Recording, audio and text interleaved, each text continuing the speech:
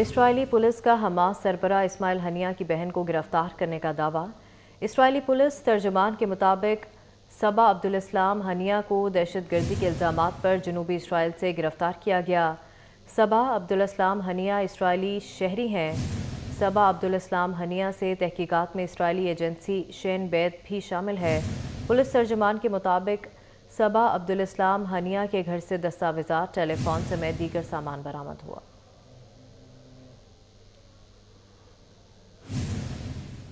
Israeli police तर्जुमान के मुताबिक सबा अब्दुल इस्लाम Haniyeh को दहशत गर्दी के इल्ज़ाम पर जनूबी इसराइल से गिरफ़्तार किया गया। सबा अब्दुल इस्लाम हनिया इसराइली शहरी हैं। सबा अब्दुल इस्लाम हनिया से तहकीकात में इसराइली एजेंसी शेन बैद भी शामिल है।